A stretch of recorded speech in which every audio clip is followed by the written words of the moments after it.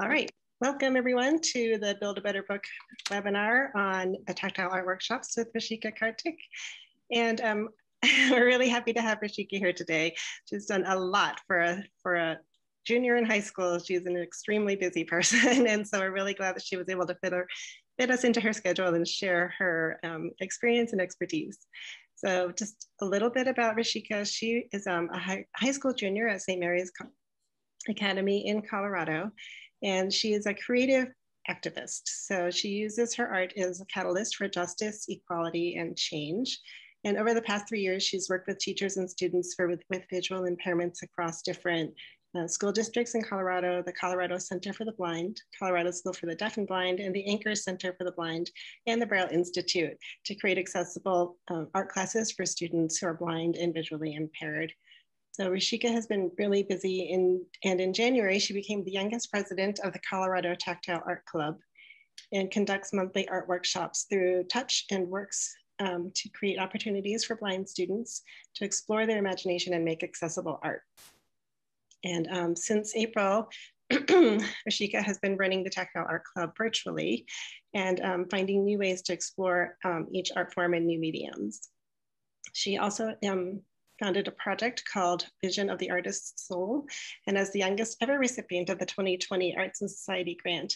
So if you're interested in um, finding more about her, we will post the link to Rishika's blog and you can read more about her.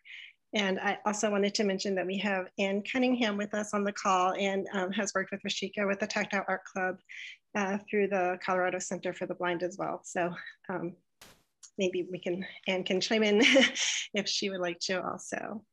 So um, we're ha really happy to have you here, Rishika. And if you want to go ahead and just talk about what you've been working on.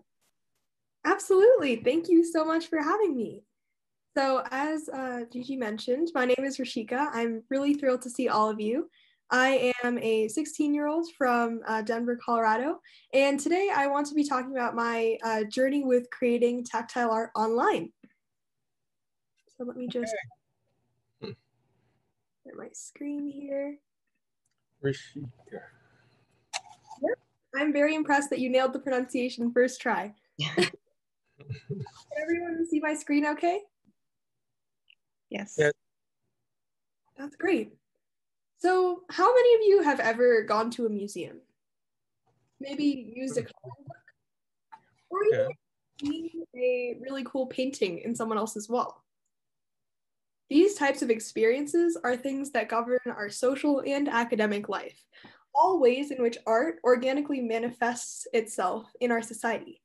Yet, sometimes this art form is primarily perceived in a visual way we don't often have those same routine experiences with tactile art or multimedia art. And I think it's just as important to include every member of society in these sort of amazing experiences that make us who we are as a human population.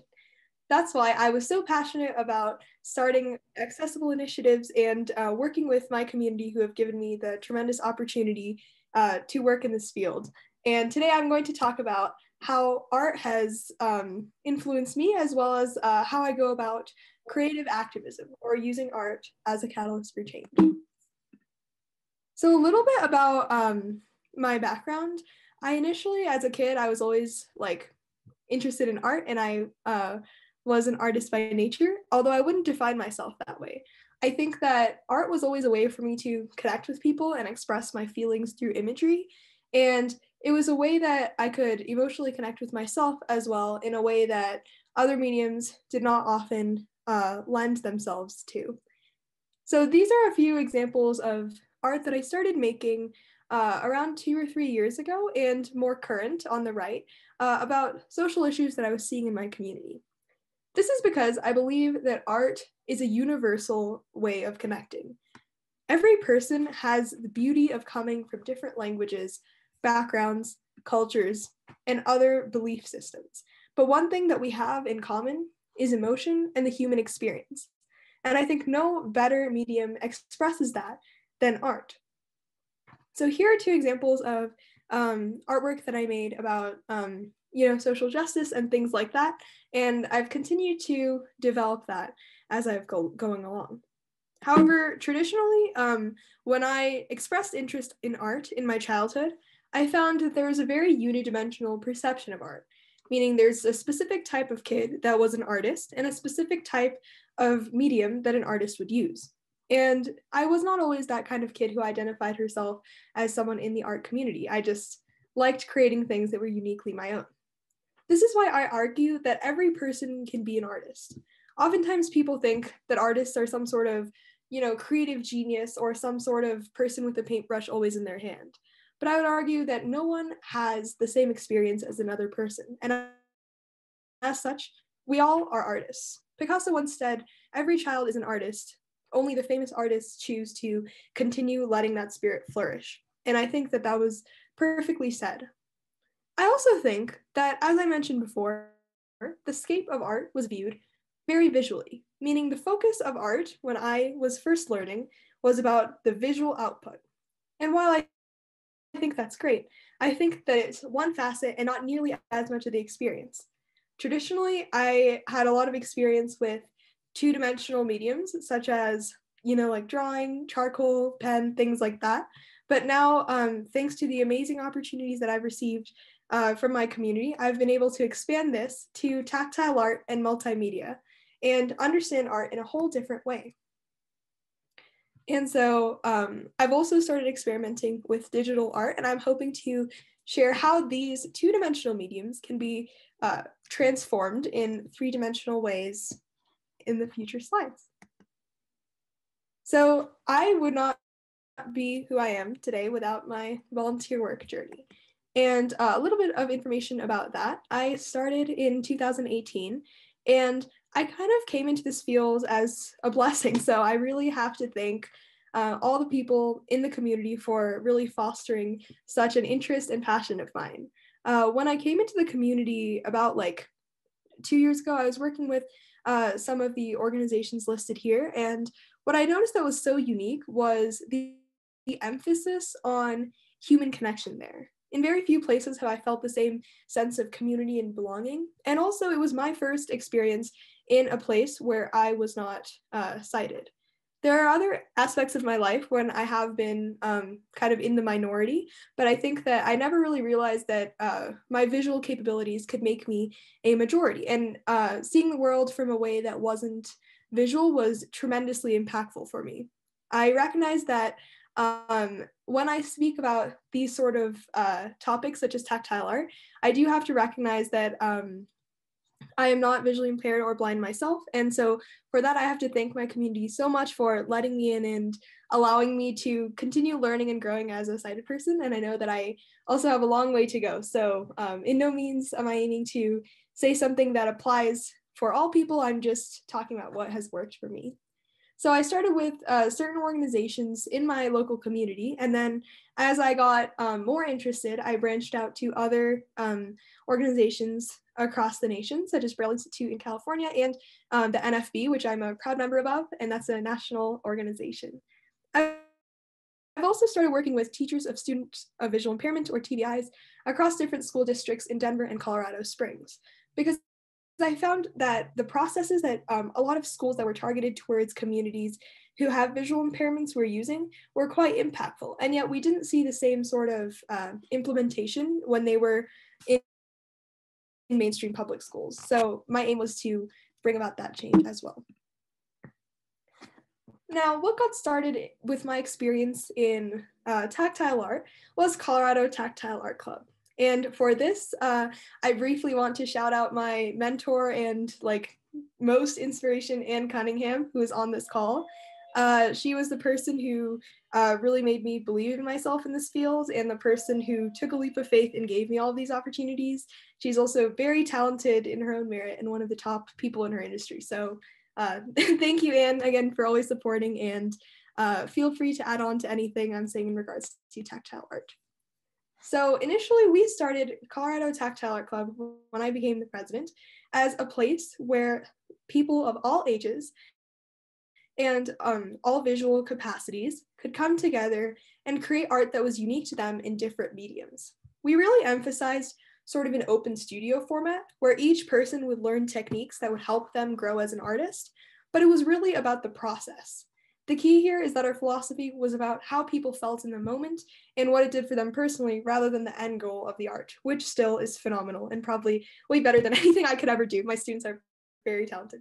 But um, things that we also aim to do is explore new mediums um, that were accessible and engaging through touch. So, for example, uh, with the um, first workshops we ever did, we did things like clay self portraits and uh, works in clay.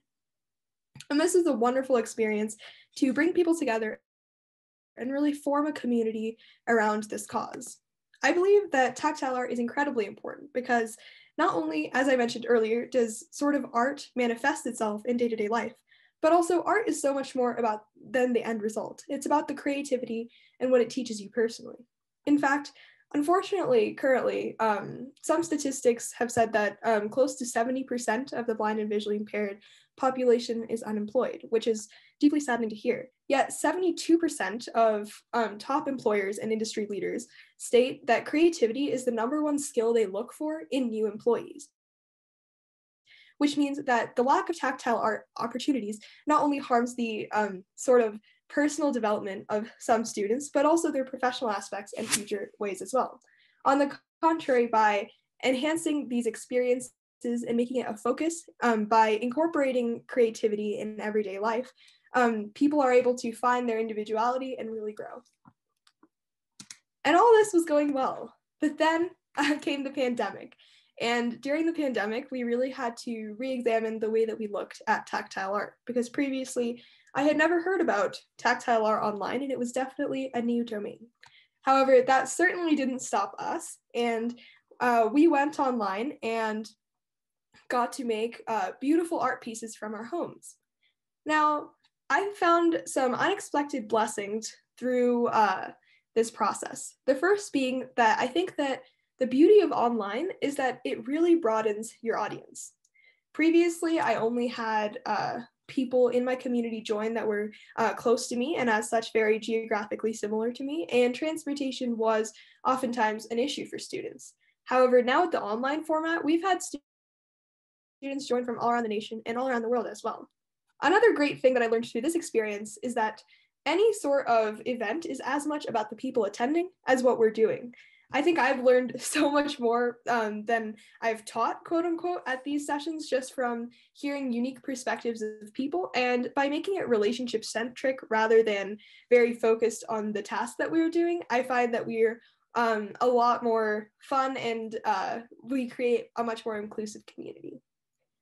Another thing that uh, we have done that has made Tactile Art Club successful is I made it a huge priority for me that um, when I say that I want art to be accessible for all people, I mean all people, regardless of their ability, first of all, but also their financial status and their situation. So, as best as we can, we try to make all of the materials available from home and make the projects um, easily adaptable to all levels so that everyone felt like they could contribute. And here are some examples of the work that students have created. If you want to learn more about the specific projects we do or um, check out this community, I have put links as well, but I encourage you to visit uh, my Tactile Art Club blog on my website to learn about all of the things that we've done. Another thing that uh, I've gotten the opportunity to do is uh, create um, art studio sessions through the National Federation of the Blind. As I mentioned, I'm really happy to be a member there. And uh, after attending monthly chapter meetings and seeing what people would be most interested in, um, we got to create uh, really nice ways to engage our community as well. For example, uh, me and Ann Cunningham did a art studio activity with pumpkin carving at the annual state convention, and that was a really great way to celebrate Halloween.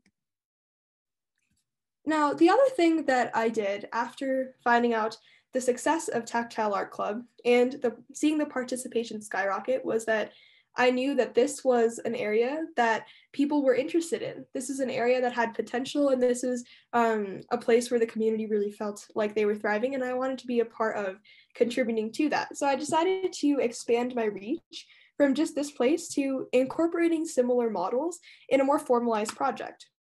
This is what inspired me to start Vision of the Artist Soul.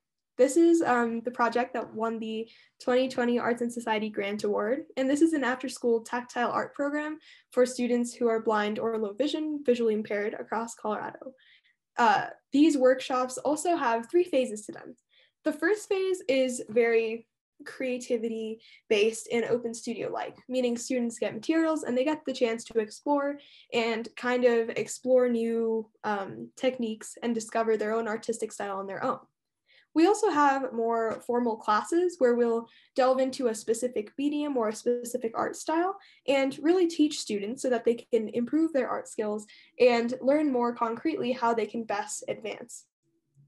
The other thing we do is we take art and we apply it to the more broad community, which means that sometimes we'll use art as a lens to examine different social issues, or we'll use art as a lens to examine different academic concepts, such as um, science, literacy, things like that. And the beauty about this is that people can then use their creativity and apply it to other disciplines in their life.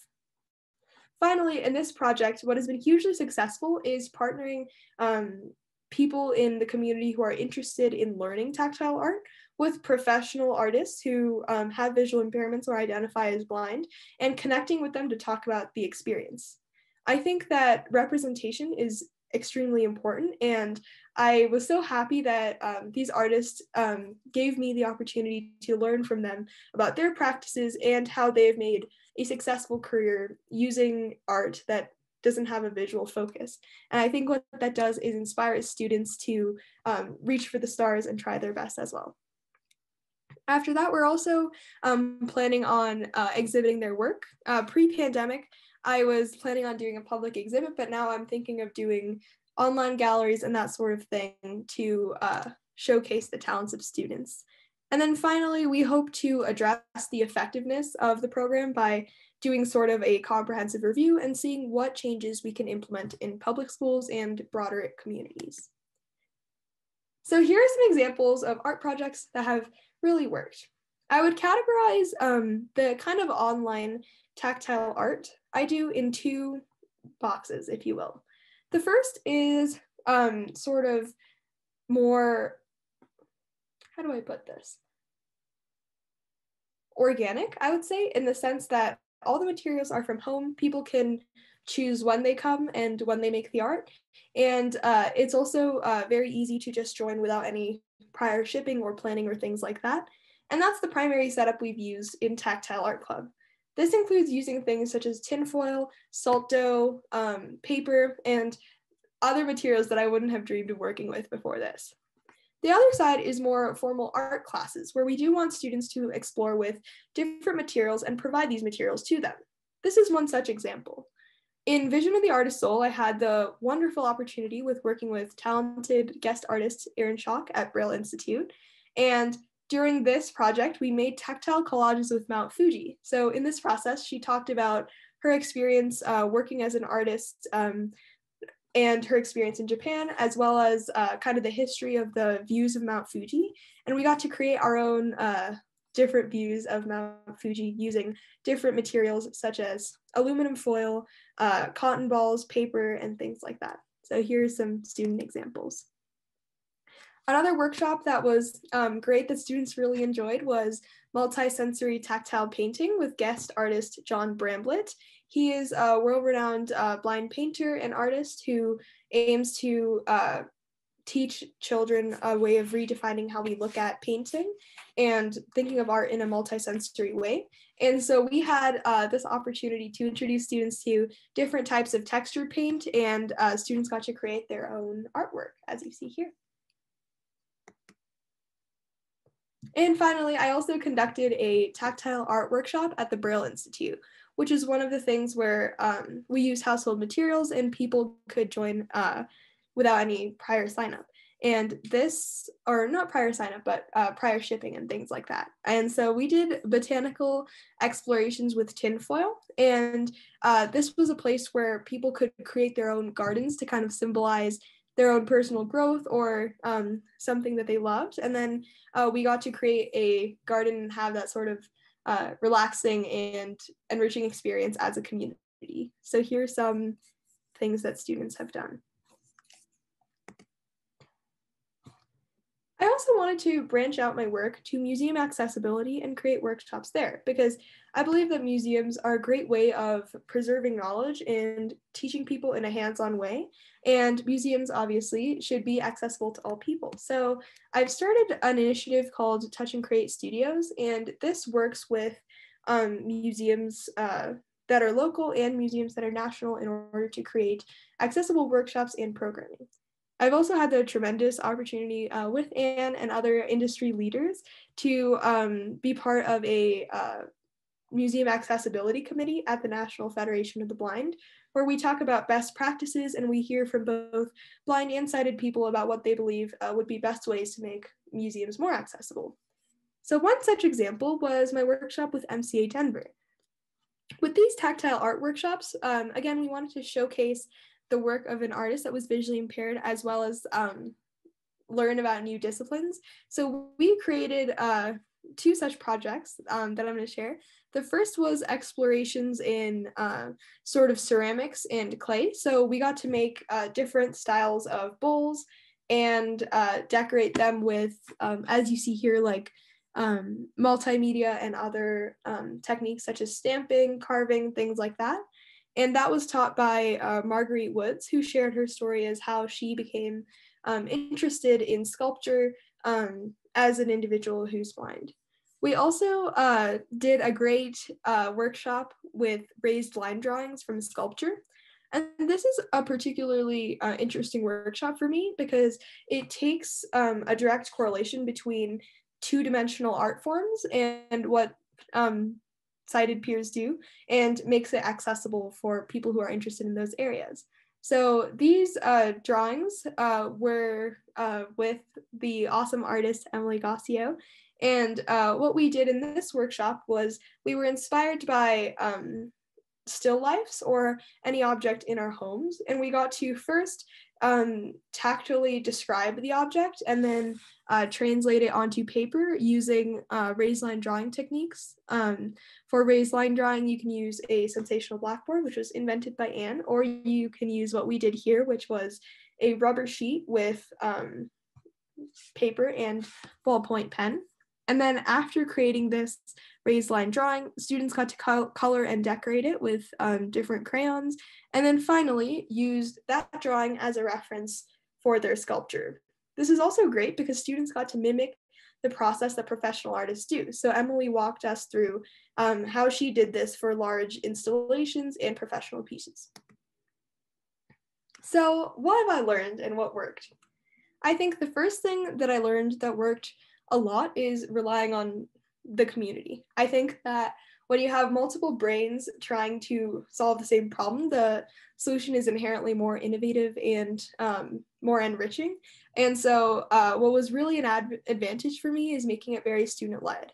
Before each um, class, I'd always ask people who participated what their feedback is, what they were interested in, and really, as I was going along, checking in to make sure people were enjoying it and um, getting honest feedback on how I could improve really made the program a lot stronger, I think. Also, making it about the people was very important. So, allowing time for some social interaction and some connection, in addition to art making, was one of the best things that I think Tactile Art Club does. The third thing that I said would really work is to know your demographic and use that to base what you're doing. For example, if you have a demographic that really wants to know the um, practical applications of a certain art skill, it might be best to have a setup where you have um, formalized teaching and people are following along. That way, they have a lot of guidance and they can feel like they're really mastering the subject. On the contrary, I found that um, this is generalizations, but um, generally younger kids and uh, kids that uh, are just doing art as a hobby really want to uh, explore for themselves and kind of take their own creative liberty. So in that case, you might um, give like general suggestions, but just let people experience it on their own. It's important to recognize that there is really no right or wrong in art. And so um, allowing each person to make something unique, I think, is very valuable. Another thing is basing your demographic on how you structure. For example, if we had a smaller group that uh, wanted to create a more intimate setting with conversation and discussion, then we were able to provide full material kits so that they would get exposure to different mediums. However, if it was a larger group, like sometimes in Tactile Art Club, we have like more than 30 participants at once, then in that case, it might be better to look at household materials. I think through this process, I realized um, the beauty of redefining what I perceived as art. And a lot of unexpected things can actually be the greatest mediums. And so, um, household materials, I think, are a great way of making art accessible online. Finally, I think online documentation is super important and has allowed this um, thing to keep going because sometimes online uh, is hard to get as much engagement and um, participation. And so for that, what I've done is um, after each meeting or like major event, I write a blog post about it with all the like um, written transcript of the things we did. Um, so that way, if a person couldn't make it, they can still make art from their homes, as well as in certain cases, like museum workshops, we do post recordings as well, so people can follow along outside. I have also uh, worked on projects such as the Dairy Arts Grant, where I got to create uh, my own instructional videos that I posted online so that people can follow remotely. And now challenges and solutions. I think that the primary challenge I found was um, getting like all the materials because initially I thought that you had to have a whole like art studio to do art and um, with people in a lot different places uh, it was a little challenging to make art projects that were suitable for um, people at home the solution to that i think is to one open the mindset a little bit on what could be art and two look at the specific medium you're looking at and see if there's any at home alternatives that you can use if shipping's not an option for example, I really uh, knew that students love clay because the texture is very hands-on and it's very tactile in nature. But if we were doing it at home, we kind of solved this issue by making our own salt dough clay. The great thing about the internet is that you can find almost any information on there if you want to. So if you have a specific medium in mind, it's a lot more direct to find a tactile alternative. Another challenge I think I faced was having people continuously show up and having steady participation because I know scheduling can be a challenge when it's online. And naturally, uh, with Zoom fatigue and everything, I understand that online isn't quite the same level of enthusiasm and community engagement as it would be in person. Some of those challenges, I think, just naturally occur in any online area, but ways that I've tried to mitigate this include making community as a priority even if it's something like asking people to introduce themselves at the beginning and share their favorite food or something like that, getting people talking to each other creates that sort of comfortable atmosphere that makes people feel like they've found a community. And I think when people feel a sense of community, they want to come and they want to continue doing the art. So that was kind of all I had. Um, but thank you all so much. Uh, if you would like to connect with me, as always, I would love to uh, work with any of you. So my email, I will put all this in the chat as well, but rishikakartik at gmail.com. And then if you want to learn more about anything I said um, and a ton of information more that I didn't include, my website, blogs, and personal art gallery are on my website. And now is Q&A. So thank you all so much. Do you have any questions for me?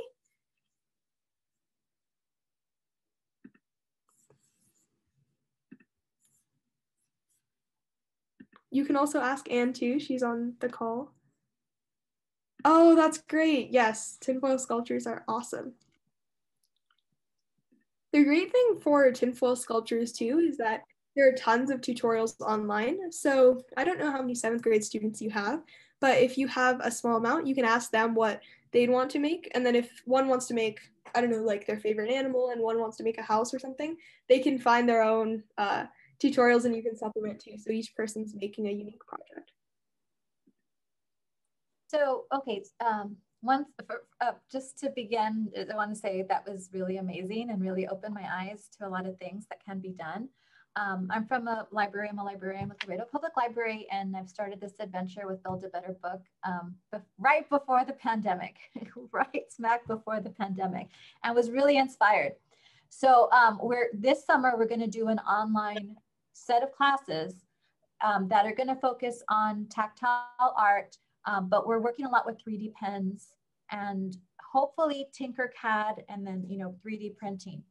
But when I, I'm seeing all of these like really cool art projects that you mentioned, and you're working with artists. So one of my things is that I'm not an artist, right? So sometimes I think like, do I need to connect with an artist in order to to make it happen, or should I feel you know confident that I can lead a tinfoil sculpture thing?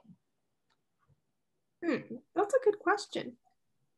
I think that uh, first of all, you definitely noticed the uh, unique like printing things and all that sort of thing. So there's a little bit of an echo.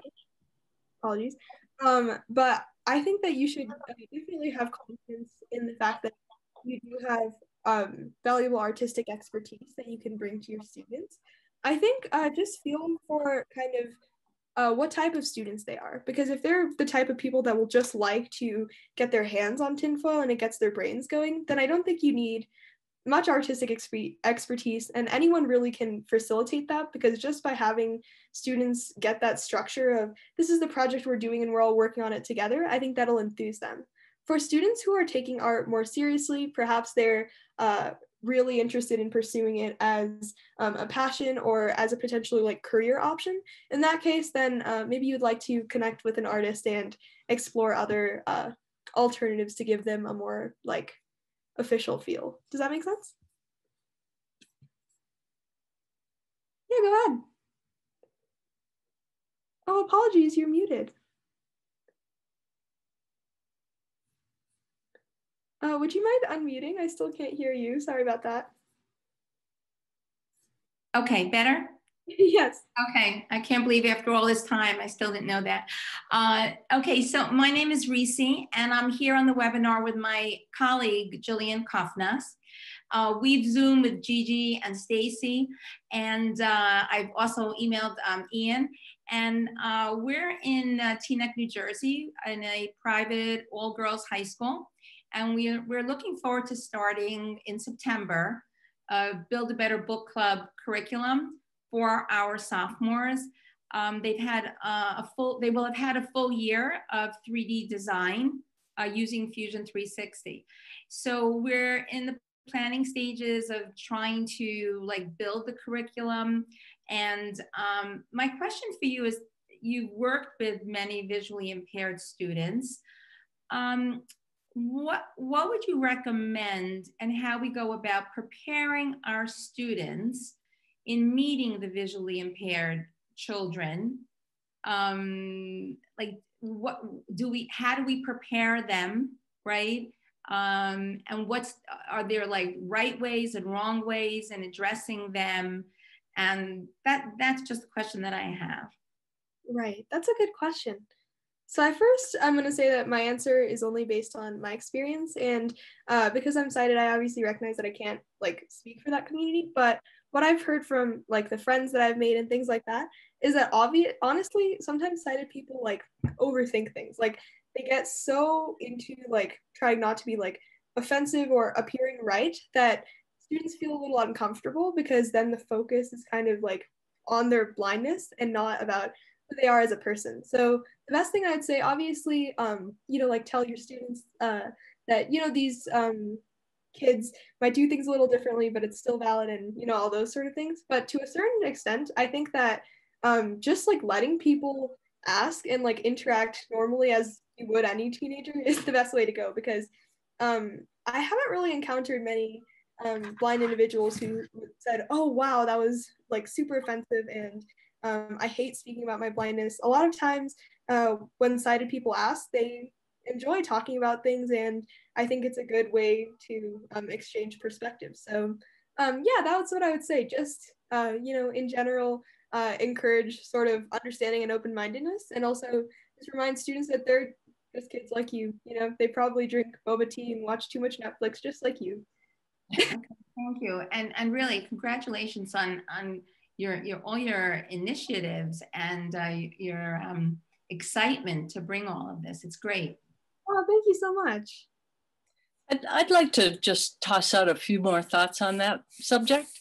Um, one of the things that I, I know that I do hear frequently is when people um, don't ask to uh, touch someone before they touch them. Uh, if you don't see them coming in, you know, it's it can be uh, off-putting. So it's just polite to know to ask before you touch someone, and um, that that goes for uh, showing them something like across the room, uh, grabbing their arm or grabbing their cane um, is like don't don't do that. um, offer your elbow if you want to uh, walk across the room. Um, or, you know, if you want to show them something on a picture, uh, say uh, you can do the way I like to do it best is I point to the object that I want people to look at and then just say, find my finger. It's on the picture. And then it's all completely controlled by the uh, person, you know, where their hand goes. So that's just a nice way to uh, do it. Also, the other thing about um, is uh, what kind of label do you want to be called by? And, you know, I think that we're all getting a lot of practice in that, but, you know, you just ask uh, what label, you know, what should I call you? You know, uh, how do you, how do you label yourself? How do you um, refer to yourself? You know, a lot of people will, um, are proud to be uh, labeled as blind people and want to be labeled as blind people. But a lot of times in um, more uh, formal settings, it, the person first language is so, uh, you know, important. A person who is blind rather than blind person. And um, that is uh, in a more uh, organizational setting. I think people tend to do that, but not all blind people like to be referred to that way. So it's just a ask kind of thing. Thank you.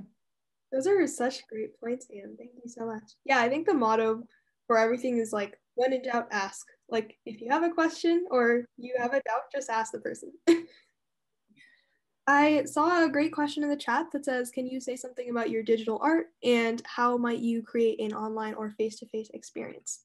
Great question. So, digital art was again something that I kind of uh, stumbled upon. I was working on an independent project at school, and it was my teacher actually, uh, who is wonderful and very talented, who said, "Oh, um, you're interested in like design and technology. Uh, you might be interested in digital art." Uh, for context, uh, I'm also the AutoCAD lead at my school, so um, I'm interested in like AutoCAD, and I'm currently learning SolidWorks as well. So I have that sort of background on the side. Um, but in terms of digital art, I think it's something where like you take the same creative skills that you learn in traditional art and you just employ them in a different way. And I think that um, a lot of the like methodology of like teaching that um, is very much the same. So I know you asked about an online and face-to-face experience. That's something that I'm actually still trying to think about because I haven't yet done a workshop with like digital art for students or something like that, just because the platforms are kind of visual by nature and a lot of the technological equipment can be a bit expensive for students to access. But I will say that if you're trying to teach a concept, for example, like programming or a concept such as um, like digital art um, in the sense that maybe you want to teach people how to use layers. Maybe you want to teach people how like a 3D coordinate plane can work. I think you can still create like physical models and uh, do like physical art projects that explain those concepts so that that way students have like hands-on understanding of that um, as they uh, learn technological skills. And I think the same could be said for um, sighted people as well. I know my favorite um, like tech related activities were things where I got to like build something or have something physical. So yeah. I hope that answered your question. Sorry I couldn't give like a specific example, but yeah.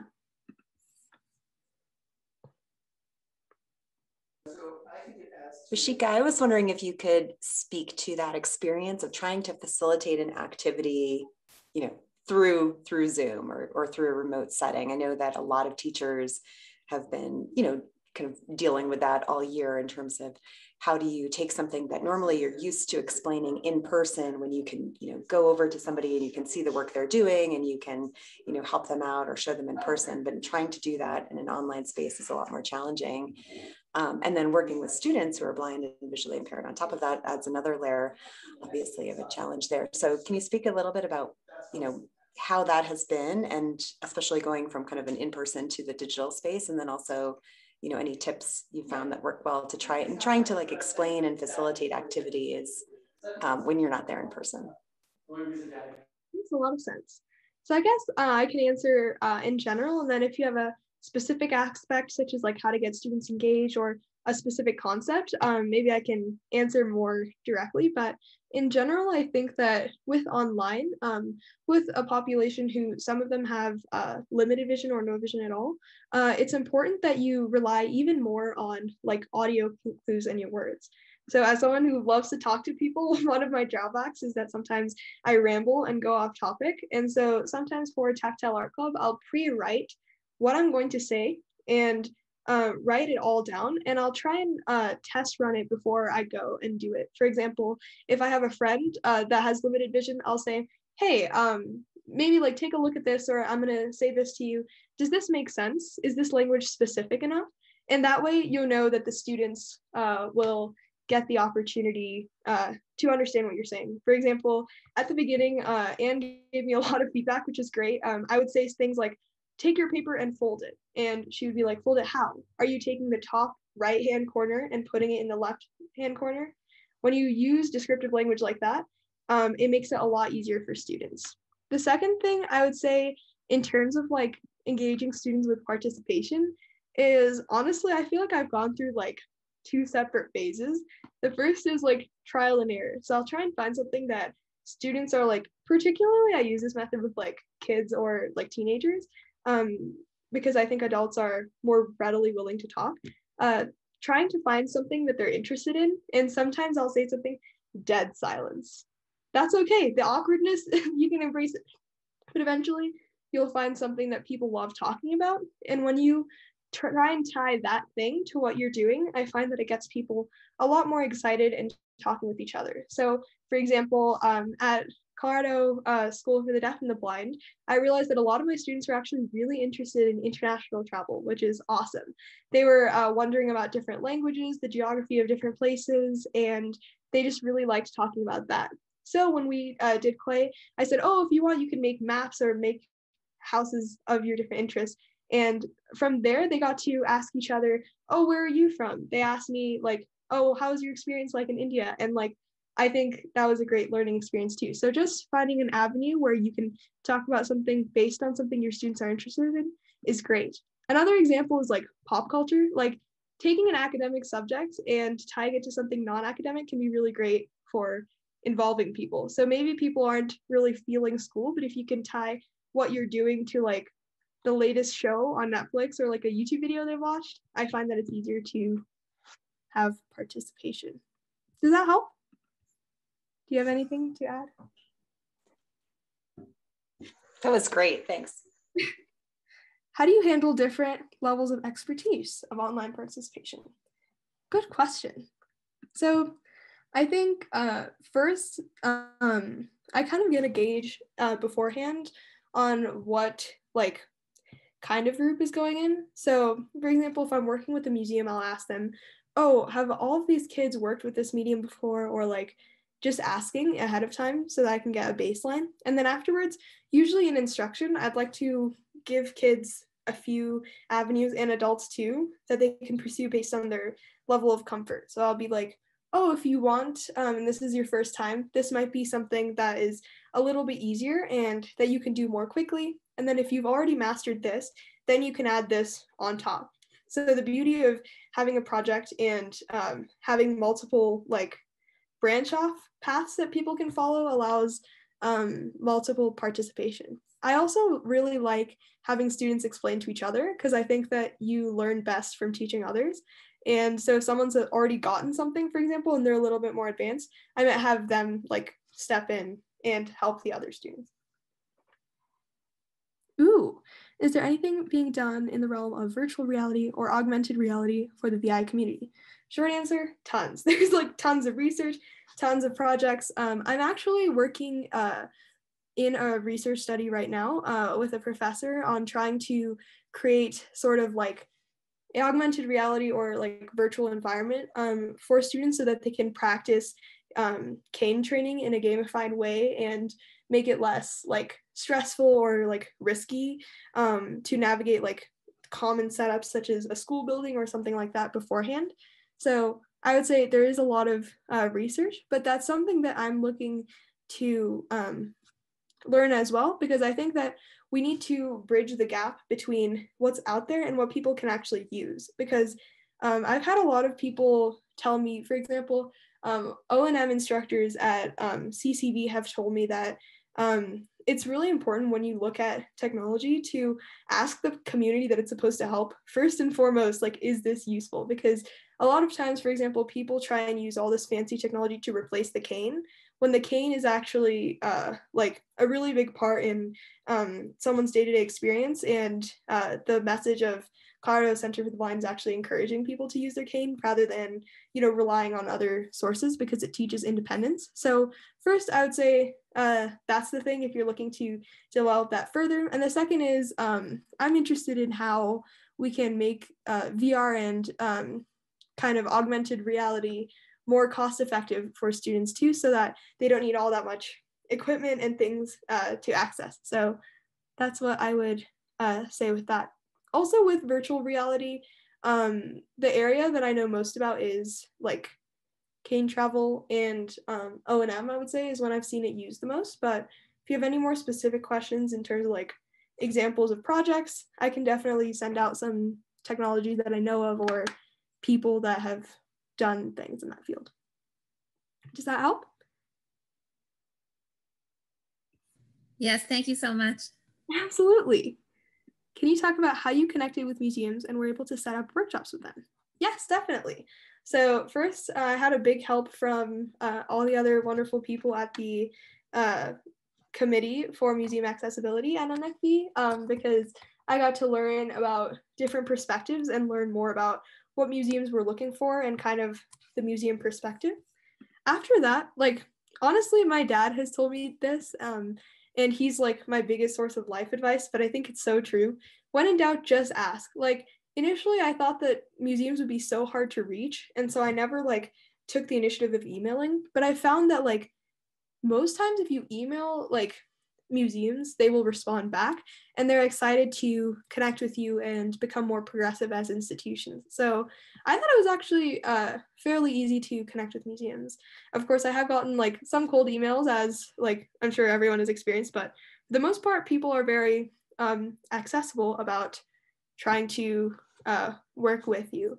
Also, I would say um, for connection, it's helpful if you can one state like what your expertise is and what specifically you try and bring. So having um, something beforehand, and two, talking about how it will benefit the museum because I know that financial strain can be a huge deterrent for creating these accessible programs, especially because the population is um, part of a minority numerical wise. So having some like evidence or statistics behind why you want to do what you do, I think will incentivize museums a lot to work with you in terms of setting up workshops, I really just have to thank the museums. Like they are the ones who have been so open-minded in giving me that experience and allowing me to do it. So yeah, the museums I've been working with are fantastic and the people there are also awesome.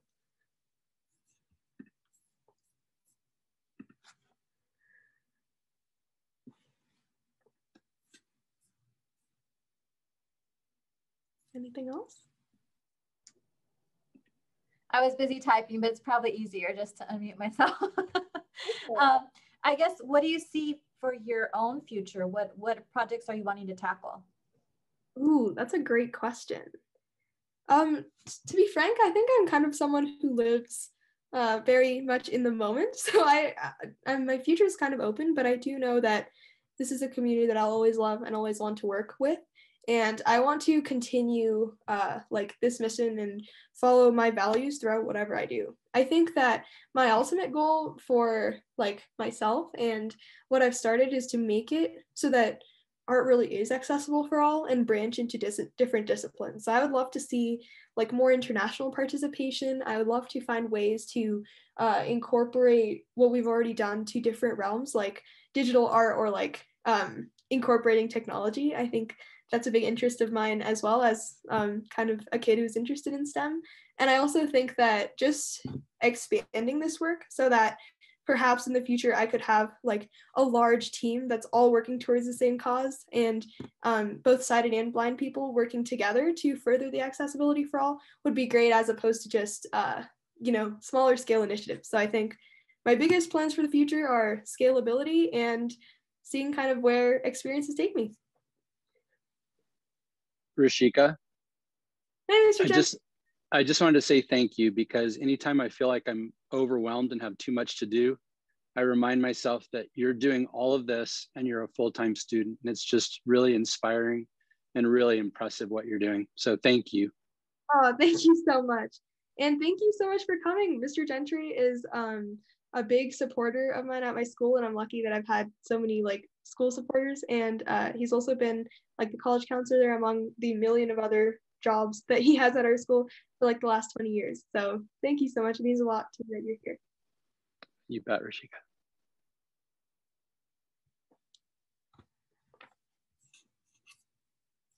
Anything else? I'm happy to answer questions. And like I said, I'm giving pretty general answers. So if anyone wants to connect with me, um, collaborate, or just like chat one on one, feel free to contact me at my email or um, you can reach out through the website as well.